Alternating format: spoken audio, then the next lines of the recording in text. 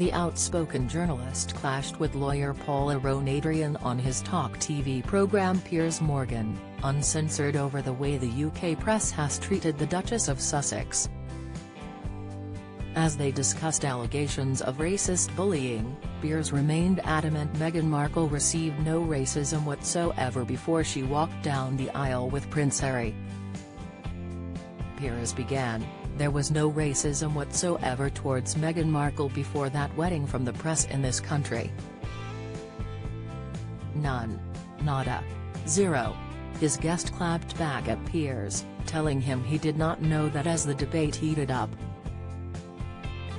She fumed, you can't say that, because you don't know what existed for her and what she's saying and what Harry is saying, because I notice that we're focusing on Meghan, but Harry is part of this as well.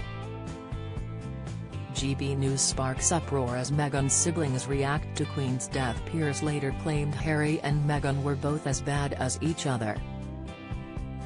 He highlighted the couple's infamous television interview with Oprah Winfrey which sent shockwaves around the globe last year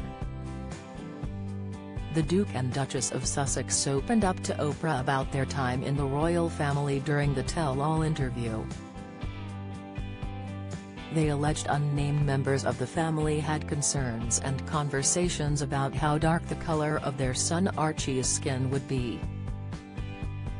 After the interview aired, Piers publicly said he did not believe the Duchess' explosive claims, he added during Wednesday's installment of his show, if all they did was tell the truth, that's one thing. But 17 statements from the Oprah interview alone have proven to be untrue, we still don't know who this supposed royal was who raised concern over their child's skin color. Piers notoriously left his presenting role on Good Morning Britain following a row live on air with co-star Alex Beresford over Meghan's claims.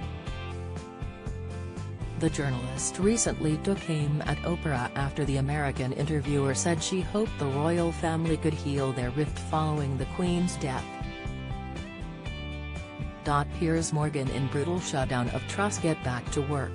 Video Piers Morgan boos off Talk TV guest after anti-royal rant, latest Piers Morgan swipes at Prince Andrew and selfish brat Harry, update. She revealed to Gayle King on CBS she never set out to have a bombshell interview with the couple. Piers was not convinced by Oprah's comments and took to Twitter to criticize her to his millions of followers. He fumed, great to see Oprah Winfrey call for healing of massive rifts in the royal family, that she enabled. Meghan has put her podcast, Archetypes, on hold as the royal family continues to mourn the loss of the Queen and Harry's memoir could now be released later than planned as a mark of respect. Harry and Meghan have remained in the UK following the announcement of the 96-year-old monarch's death last Thursday.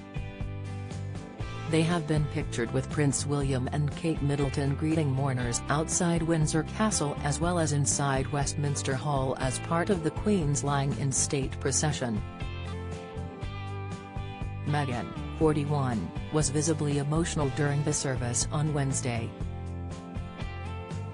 The Queen's funeral is taking place on Monday at Westminster Abbey. Piers Morgan, Uncensored airs on weeknights at 8 p.m. on Talk TV.